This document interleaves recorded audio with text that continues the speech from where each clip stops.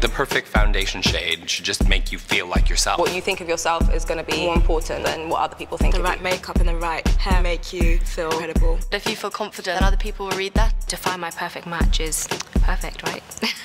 I look amazing. I can do anything. I cannot be stopped. Live the London look.